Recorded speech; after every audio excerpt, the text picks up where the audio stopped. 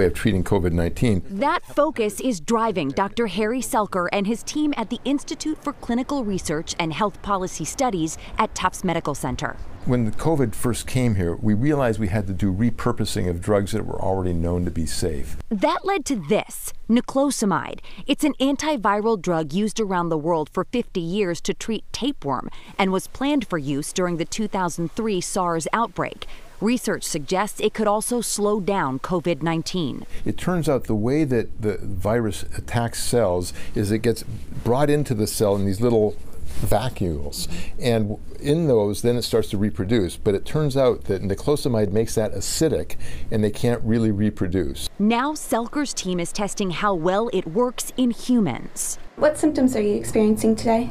The research team uses telehealth to connect with participants after they get this kit to take their temperature, pulse, and oxygen saturation.